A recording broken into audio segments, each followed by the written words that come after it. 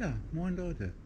Wollte mal ein kleines Video machen. Ich habe jetzt mein Fahrrad 1200 Kilometer gefahren und wollte mal sagen, wie der Stand der Dinge ist.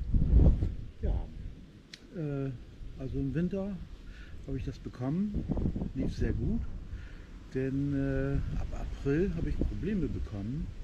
Da äh, ist mir ab und zu immer der Motor ausgefallen. Ja, dann äh, habe ich bei Rose einen Termin äh, gebucht, da hat einen Monat gedauert, war ziemlich lange. Das Fahrrad dann hingebracht.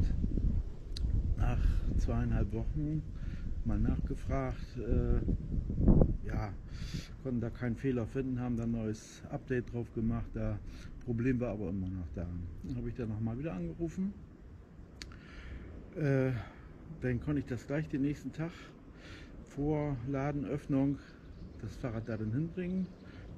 Ein Fachmann hat sich das Fahrrad angeguckt, den Motor war eben ausgebaut, die Stecker nochmal wieder rauf und äh, Stecker war anscheinend nicht richtig drauf gewesen. Jedenfalls seitdem ist das Problem beseitigt. Fahrrad läuft sehr, sehr gut. Äh, also man kann es auch ohne Motorunterstützung sehr, sehr gut fahren. Fährt sich wie ein ganz normales Gravelbike. Äh, die Reichweite ist enorm. Also ich komme ja, im Eco-Modus, was eigentlich immer vollkommen ausreicht. Fast 200 Kilometer weit, im Flachen jetzt. Äh, man kann auch größtenteils ohne Unterstützung fahren. Ja, es läuft äh, sehr komfortabel, muss man sagen.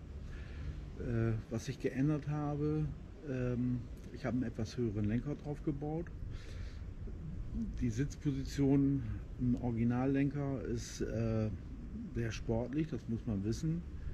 Trotzdem läuft das Fahrrad sehr komfortabel. Aber eben halt für längere Touren ist es eben halt angenehmer mit einem etwas höheren Lenker. Also 5 cm geht ohne weiteres.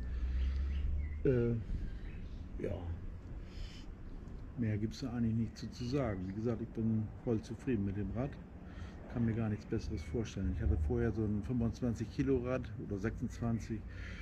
Ähm, das ist überhaupt kein Vergleich. Also dieses Fahrrad, das fährt sich im Prinzip wie so ein Rennrad. Nur eben halt mit Motorunterstützung, wenn man es mal haben will. Also Daumen hoch.